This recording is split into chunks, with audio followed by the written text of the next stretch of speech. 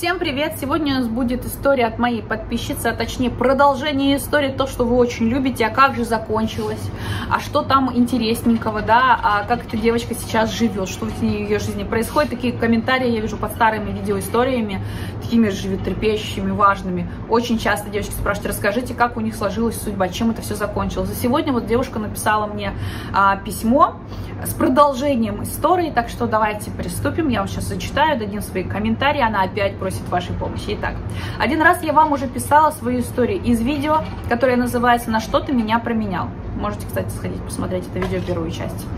А, история в этом июне получила свое продолжение. Я уже начала свою жизнь заново, без него. Как тяжело это не было бы для меня, но в июне он слезно опять просил дать ему второй шанс.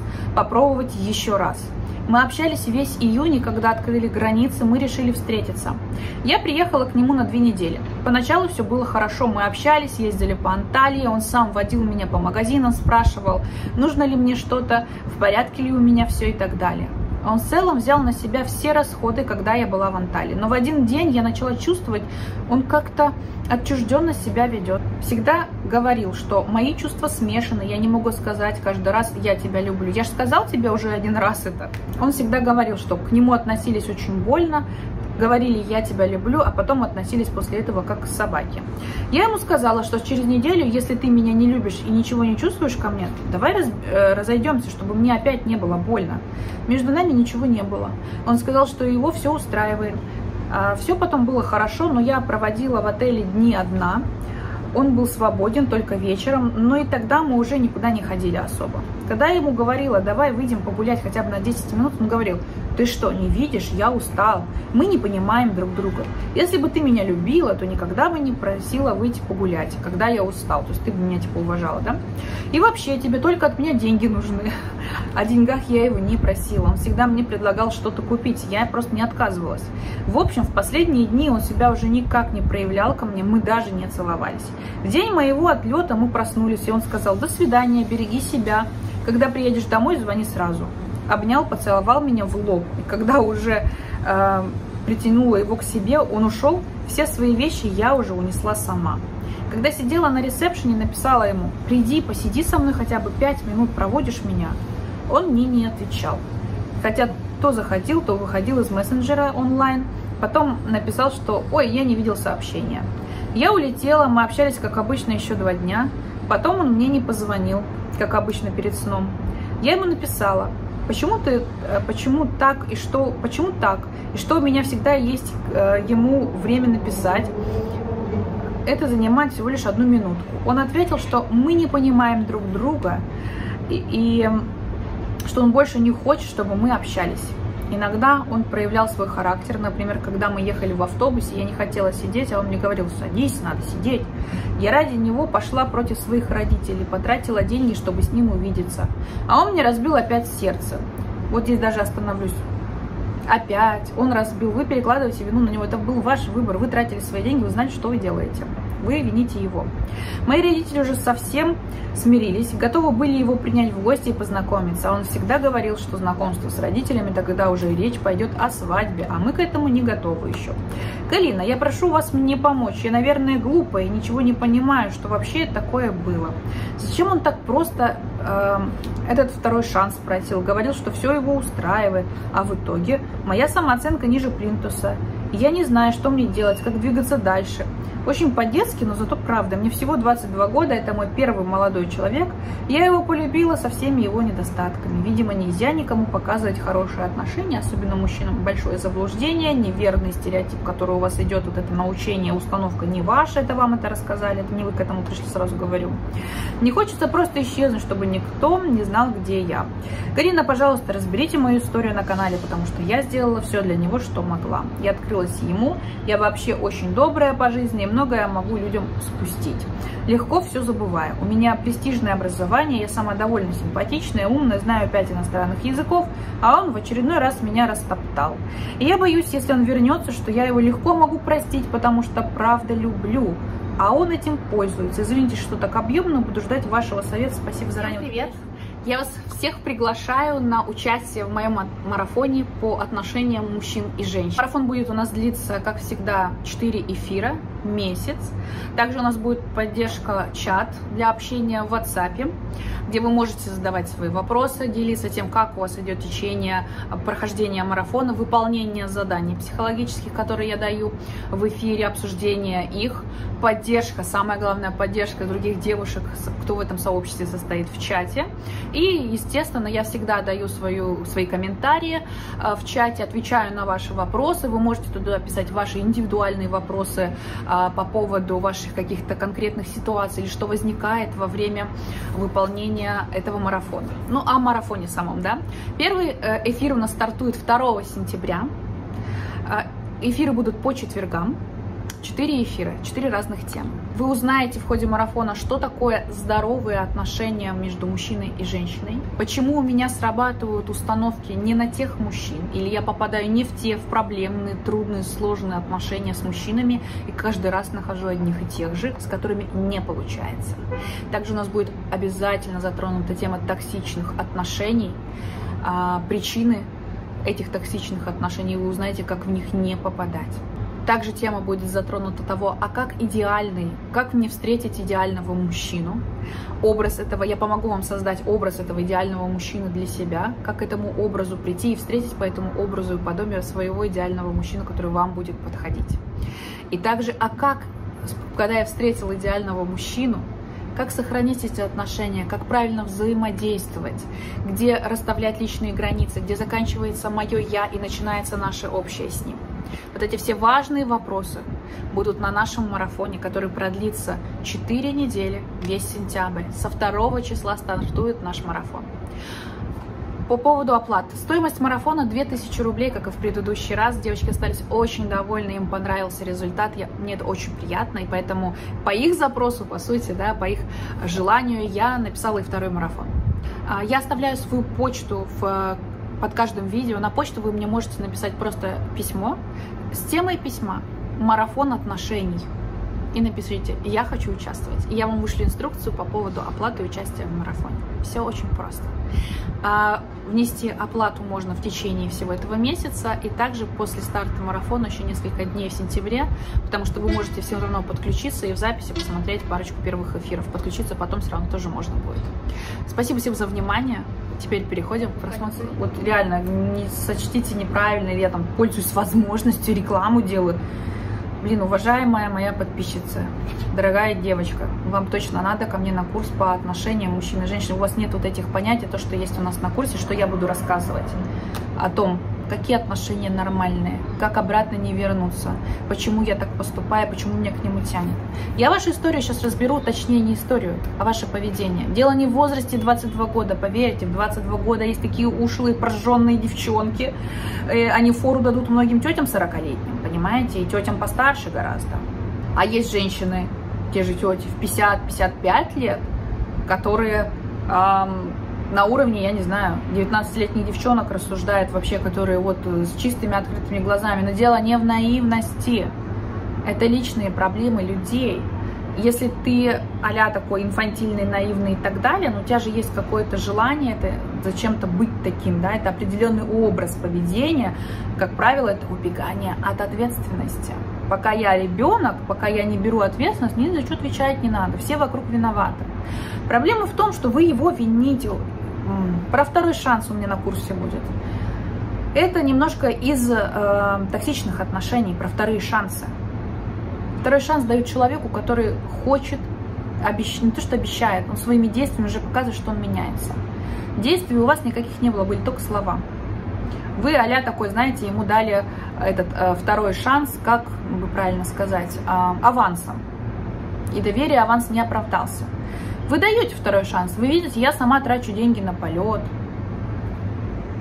Вот если вы даете второй шанс, то пусть он билет покупает.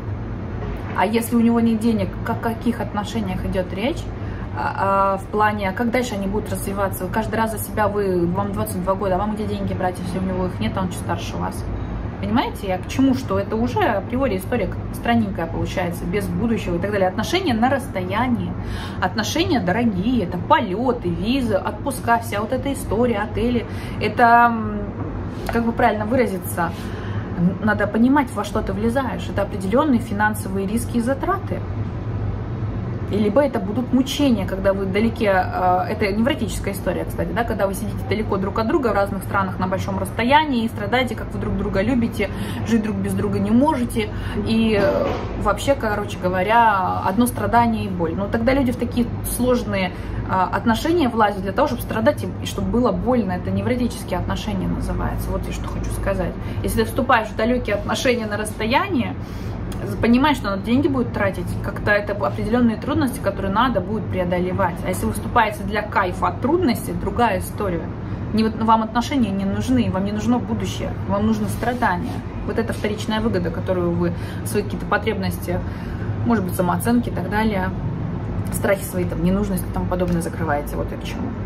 И я вижу прекрасно, что вы складываете ответственность на него. Он же пообещал. Ну что, что пообещал? Вы покупали билет. Вы, когда давали второй шанс, должны себе в голове были держать. Он может это не оправдать.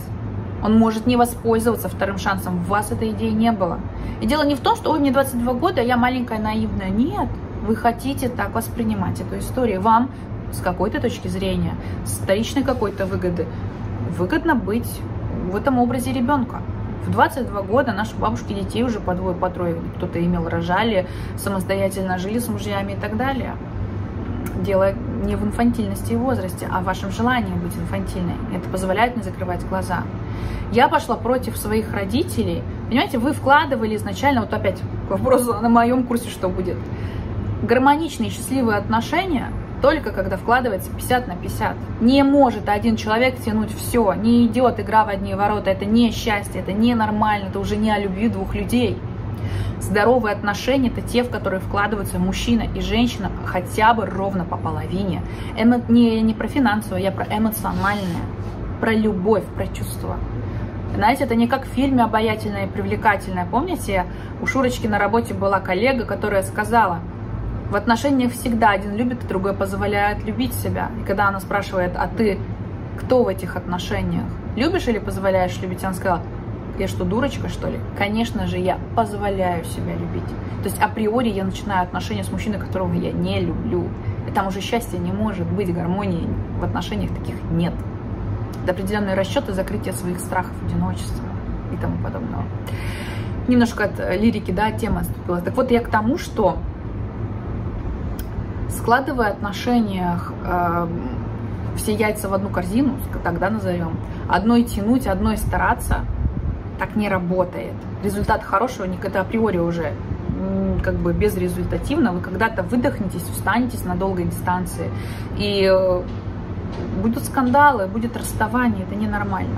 И вот вы старались притянуть гораздо больше, чем есть на самом деле вы. И шанс, может, и честно скажу, вот если так разбирать, тут сидеть детально, возможно, он не так уж и страдал и просил о втором шансе. А вы хотели просто дать этот второй шанс. Вы притянули больше, чем было на самом деле запроса от этого человека. Поэтому у вас такое большое разочарование и боль. Вы так создали эту ситуацию, вы хотели давать этот шанс в большей степени. Так вот, про вторые шансы. Когда вас обидели, унизили, ваша история была до этого, видео было, понимаете? На кого ты меня променял? От вас уже отказались. Это вопрос вашей самооценки. Почему человеку, который меня отвергает, я даю какой-то второй шанс? Не я должна давать второй шанс. А для второго шанса он должен просто метать, рвать, землю грызть, понимаете, доказывая, что он хочет этот второй шанс, доказывая, что он изменился, или он жалеет о том, что произошло, и хочет все изменить. А он ничего этого не делал. Это вы купили билет, вы убедили своих родителей, что все, типа, они уже смирились даже с вашим выбором. Только ему этот выбор не нужен был. Это вы в него вцепились, а не он вас. Вот в чем проблема, я милая моя девочка. Что я хочу сказать? Я знаю, по какой причине вы в него вцепились. Поанализируйте, похож ли он на отношения с вашим папой. Вам нужна вот эта мужская роль мужчины в отношениях, вам это нужно. Он это закрывает, скорее всего. Либо вы отверженный ребенок, которого воспитывала бабушка или не было внимания папы, мама, вы это хотите возместить в нем. И вы так насильно в него цепляетесь. Ну, парень нехороший, парень обманывающий, но чисто турок который не может сказать открыто, а он же в конце даже сказал, отстань от меня, я не хочу, чтобы мы продолжали общаться. А вы вот это общение натягивали во всем. Я им писала смс я приехала домой, им даже предъявляю, что ты мне не можешь ответить. Да зачем? Вы видите к себе скотское отношение?